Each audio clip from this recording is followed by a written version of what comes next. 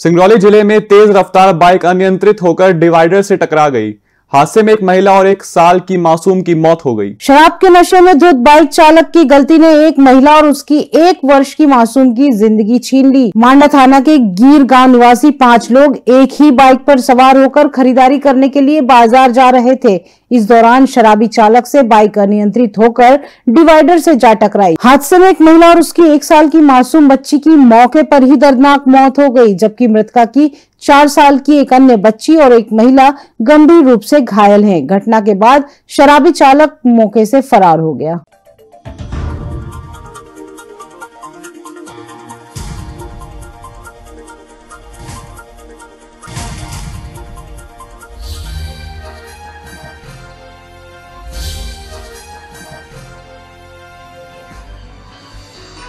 आप देख रहे हैं दखल न्यूज़।